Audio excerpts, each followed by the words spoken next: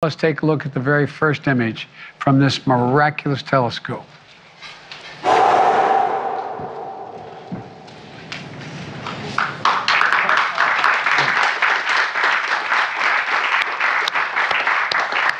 President, if you held a grain of sand on the tip of your finger at arm's length, that is the part of the universe that you're seeing, just one little speck of the universe.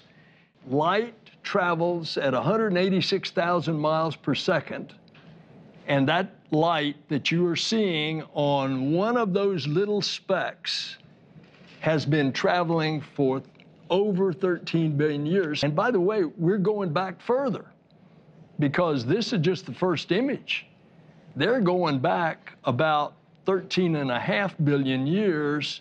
And since we know the universe is 13.8 billion years old, we're going back almost to the beginning.